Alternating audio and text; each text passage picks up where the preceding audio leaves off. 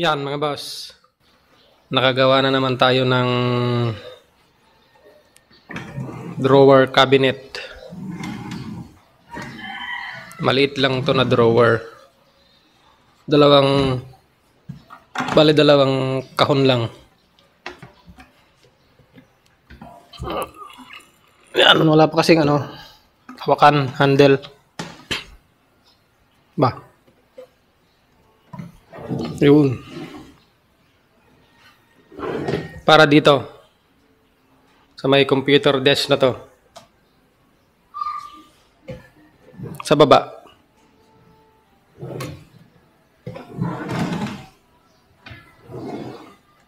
Yan. Dalawang ano lang.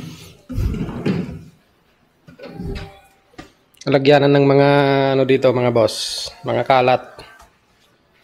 Mga charger, mga yan. Mga yan, headphone, mga yan.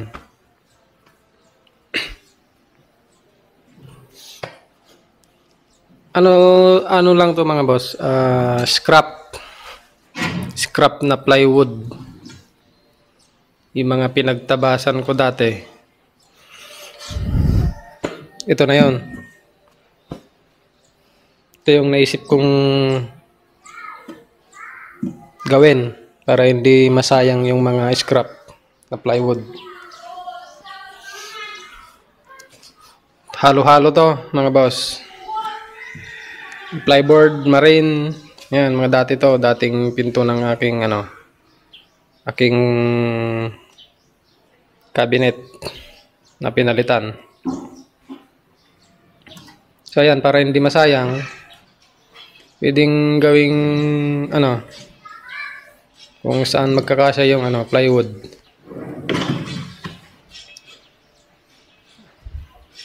Yan, ang kulang na lang to, mga boss, ay ano, finish, pintura. Mga ano na lang to siguro.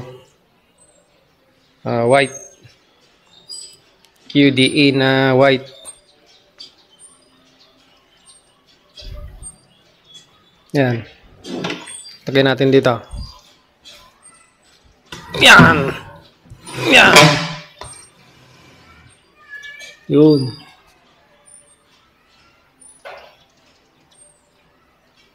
Hindi naka ano to mga boss, naka-fix dito. Nakapantay yung ano diyan. Ano nito nakapantay dito. May mga ano pa kasi doon. Nakasaksak. Kaya hindi ko pa maano.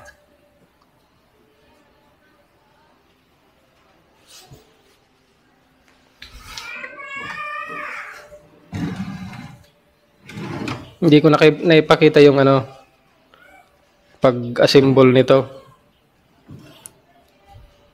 Hindi ko kasi hindi naman kasi tayo expert mga boss sa paggawa nito.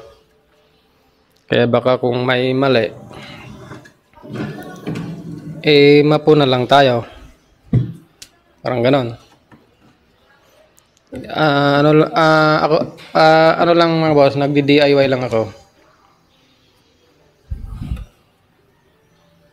So, hindi tayo expert dito. Kasi paglagay dito sa drawer slide or drawer guide. Pinag-isipan ko muna to mga boss. Bago ko gawin. Yan, okay naman. Ang pagkaka, ano, hindi naman siya masikip. nag-base na lang ako sa mga ano napapanood natin sa ano sa YouTube ganyan. 'Yun. Sinundan ko na lang yung mga kung na mga kasama natin diyan na nag tutorial ng ganito. Yan na uh, kung naman natin, nasundan naman natin ng maayos.